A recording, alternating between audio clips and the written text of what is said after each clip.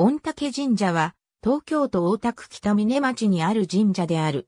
登記上の宗教法人名称は、宗教法人御嶽神社。当神社は、天文4年頃の創建と言われている。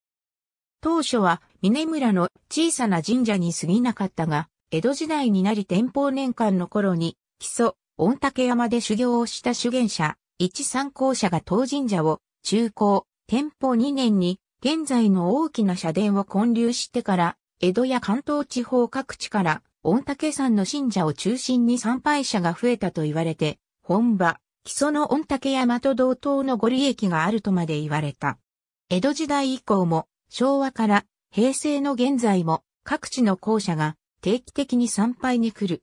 その他に、峰町地区の村社として、地域の氏子からの参拝もあり、現在でも多くの人が参拝に来る神社としても知られる。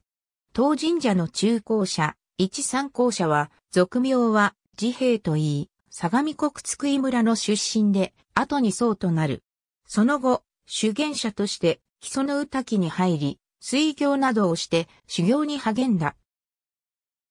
そして、一参考者は、巧妙な行者となった。